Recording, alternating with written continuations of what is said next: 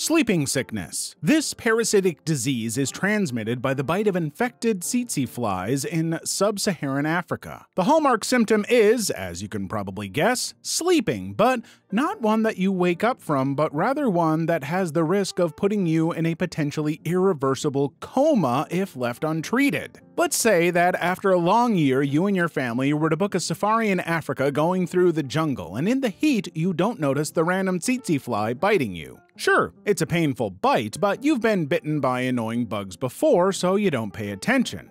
A few days later, your first symptoms would appear as pretty common symptoms of fever, headache, joint pain, and itching at the site of the tsetse fly bite.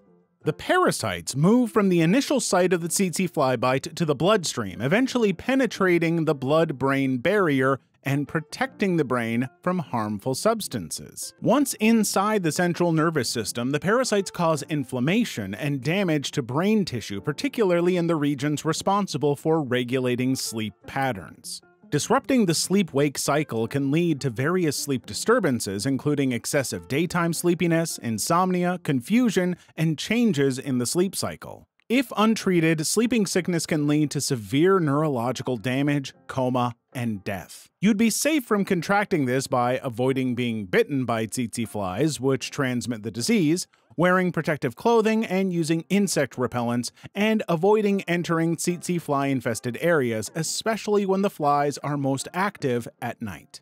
Marburg virus disease. Another gift from the Ebola family that keeps giving, and as Ebola's second cousin, it's less well known, but just as deadly. Marburg virus disease is a highly infectious and potentially deadly illness that is recognized almost instantly by its scariest symptom massive bleeding from every opening in your body. The virus is transmitted through direct contact with infected individuals or animals' bodily fluids, such as blood, saliva, or other secretions. As the disease progresses, things may be pushed into third gear. As the body is overwhelmed by the number of viruses, it throws everything at it and unleashes its last resort a cytokine storm. Normally, cytokines are produced by the immune system to help fight off infections. However, in a cytokine storm, the immune system goes into overdrive and releases an overwhelming amount of cytokines into the bloodstream. A cytokine storm is essentially the immune system overreacting and damaging the body's cells and tissues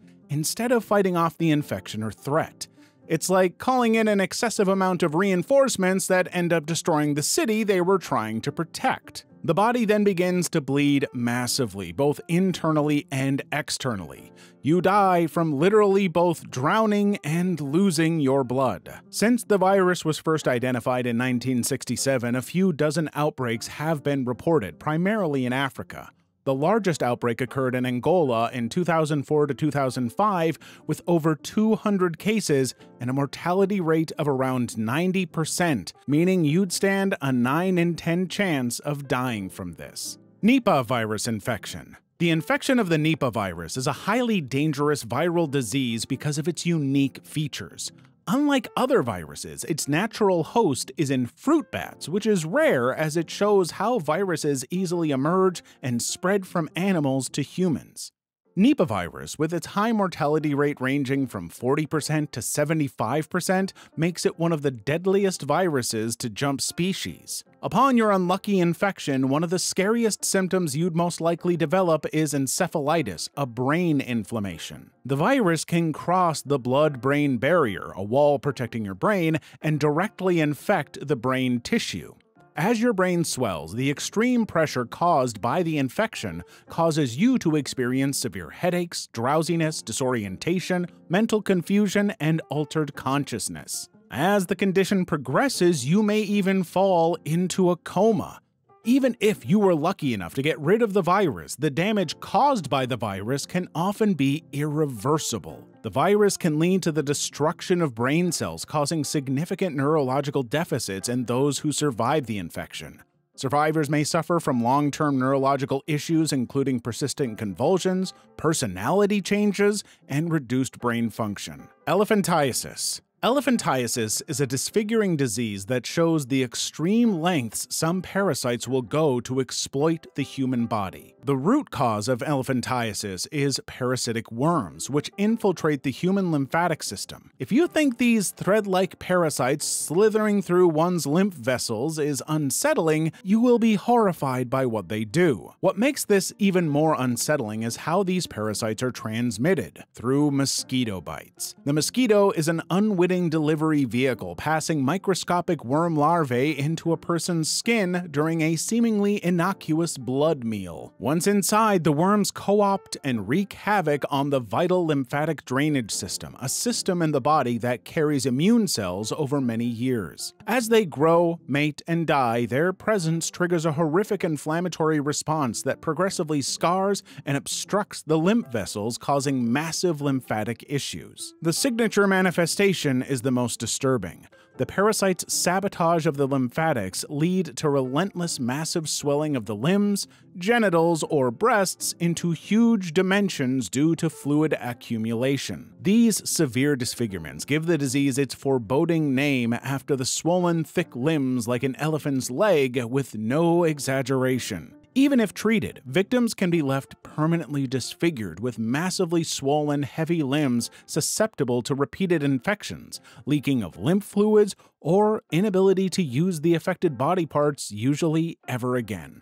Flesh-eating disease. True to its name, the flesh-eating disease particularly likes the soft tissues on your skin surrounding important muscles, nerves, and blood vessels because the bacteria release toxins that can destroy tissue and lead to rapid tissue death necrosis. Within a day or two of initial simple symptoms, the infection can start aggressively digesting skin, fat, and muscle tissue at insane rates, sometimes several inches per hour. This explosive spread of necrosis is utterly bizarre. While the infection may enter through even minor cuts, no part of the human body is spared once it takes hold. Necrotizing bacteria can rapidly travel along tissue planes, methodically killing cells and liquefying flesh as they ruthlessly spread up limbs, across torsos, and into vital organs. In a race against time, the only way to stop tissue destruction is through urgent surgery to cut away and remove every last inch of infected and decaying flesh, often requiring amputation of limbs, removal of skin, or disfiguring surgeries. Essentially, the body willingly sacrifices part of itself to survive. Even then, the battle isn't over. As bacteria furiously consume body tissue, they release toxins into the bloodstream that can send the body into a fatal spiral of organ failure, fever,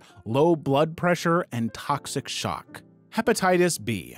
The hepatitis B virus, unlike other viruses, is remarkably resilient and can survive outside the body for at least seven days, with viruses like HIV lasting only a few hours. This allows indirect transmission through contact with contaminated surfaces, unlike most viruses that require direct person-to-person spread. Its ability to linger in the environment makes it one of the most contagious human viruses. In some cases, hepatitis B establishes a persistent chronic infection that can last decades. The virus can silently attack the liver for years or even a lifetime without causing notable symptoms initially. This invisible, slowly destructive nature makes it highly dangerous compared to acute viral illnesses that at least show symptoms. Hepatitis B has evolved clever ways to hijack the human liver cells and use them as virus factories. It can integrate its genetic material into the host's DNA, indefinitely hijacking the cell's machinery to pump out viral proteins and particles. Perhaps the most exciting aspect is that the virus can form a reservoir by persisting in some people's blood and body fluids for the rest of their lives,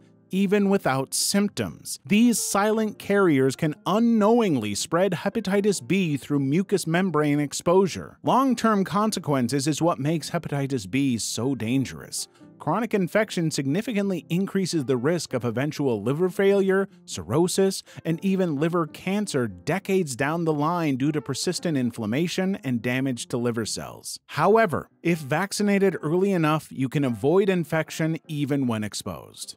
Herpes. Herpes is a viral infection caused by the herpes simplex virus, HSV. Perhaps a not so fun fact is that it is estimated that almost half of the world's population has oral herpes. This means there's a pretty good bet that one in two people you meet every day has herpes. The good news is that despite being infected, almost all cases are mild cases of occasional flu-like symptoms. Herpes is typically associated with oral herpes, which causes cold sores or fever blisters around the mouth and face.